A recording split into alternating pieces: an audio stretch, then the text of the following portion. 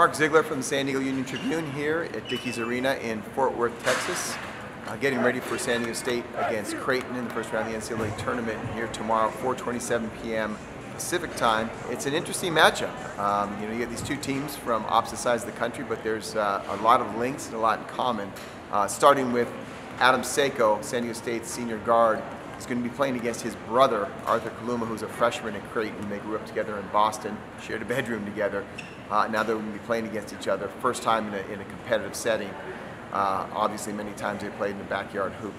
Um, you also have Trey Pulliam, San Diego State senior guard, coming back to Texas for the first time to play since he played at Navarro College, just down the freeway here, about an hour and a half. Uh, he grew up in College Station, Texas, not too far away either.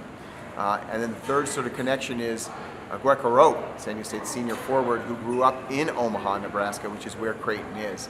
Uh, these teams, these programs, kind of have a similar arc of success, and this season they've won in a similar way. Both are very defensive oriented, struggle on offense at times, but find ways to win, sort of win with their culture uh, that they've built up over the last 10, 20 years uh, as programs uh, that start, started as uh, mid-majors.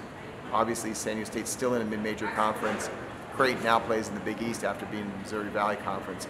But the big difference between them is that Creighton is a very young team. They start two freshmen, one sophomore, first player off the bench is a freshman. San Diego State is just senior dominated. Seven seniors, mostly seniors and juniors play.